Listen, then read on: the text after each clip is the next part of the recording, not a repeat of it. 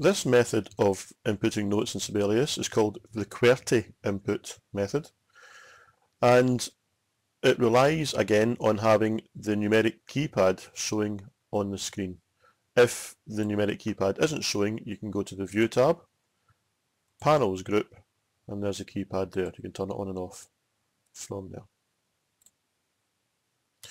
Now it's called the QWERTY method of input because we're going to use the QWERTY keyboard on the computer. That is your normal letters on the keyboard of the computer. And the way it works is as follows. It's all dependent on the fact that the keypad here is the same layout as the numeric keypad on your computer. If you look at your keyboard on the computer, over at the right hand side, if you're using a desktop, you will see the numeric keypad. And you'll see that the layout is the same. So for example, if I was to hit the number 4 on my numeric keypad here, without not on the screen, the actual numeric keypad, the crotchet is highlighted.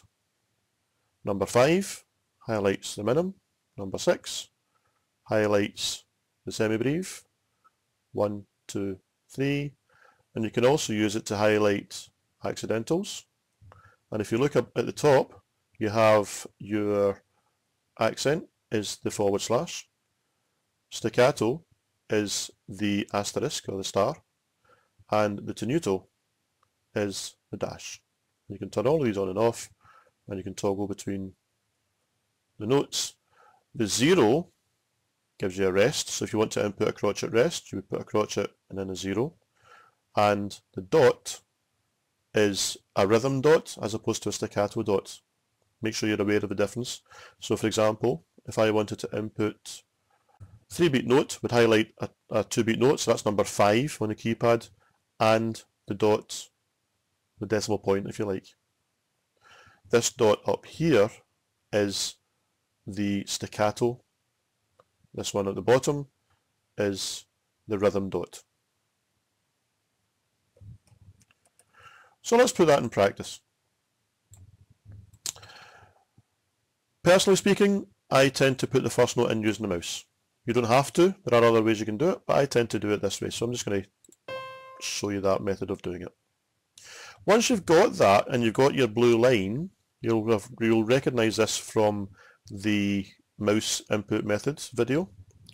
The blue line means that you're going to carry on putting more notes in so for example, my next note is going to be a minim, so I just hit number 5 on the numeric keypad, and it changes there.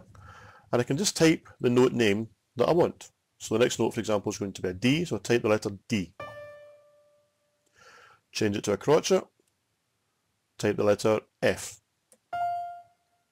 Change it to quavers, C, B, A, B, change it to a minim, G. One thing to be aware of is I want my next note to be an E above that. So I would select the note value and type E.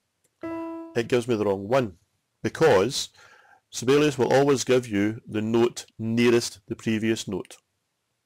Now to change that up an octave, I could either use the up and down arrows on my keyboard or I can use the control and up and down up and down arrows to move an octave at a time. And I can just carry on from there. So the next note, for example, is going to be a quaver rest. So I put the number 3 and then the number 0 and it immediately gives me the rest. And you notice that the rest has now been deselected on the keypad. So I can now carry on with another quaver.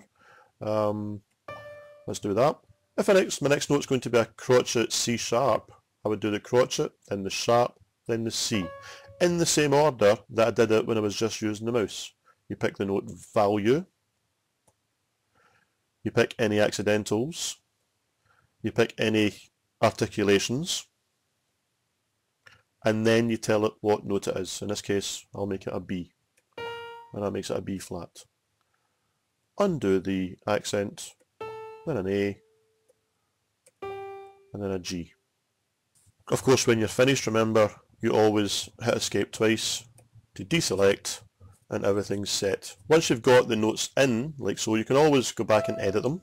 So I can select that note and make it a flat, either by using the on-screen keypad or just by changing, by using the, the physical keypad. I can change it, for example, to be a quaver by using the keypad there and escape to fix it. One trick it's handy to be aware of is if you have to, for example, input a lot of quaver, quaver, rest, quaver, quaver, rest, quaver, quaver, rest, sometimes it's easier and quicker to input them as crotchets. I'm just typing CD, CD, CD. And let's say a minim, a semi-breve there. Escape. I can then select all these crotchets, like so, and hit the number 3 on the numeric keypad, which is a quaver, and it changes them to quavers and quaver rests. Sometimes that's quicker than inputting them all individually. There are lots of these wee tricks that you learn as you get more proficient with Sibelius, but that is the basic technique for using the QWERTY input method of inputting notes into Sibelius. Some people find this method the most time efficient and the most efficient way to input notes because it becomes very much like word processing for music. You have your right, your right hand covering the numeric keypad and if you think about it, the letters A to G for the note names are all over on the left hand side of the keyboard. So your left hand types the note names. So if you have a numeric keypad, it very often is one of the quickest ways to input notes into Sibelius.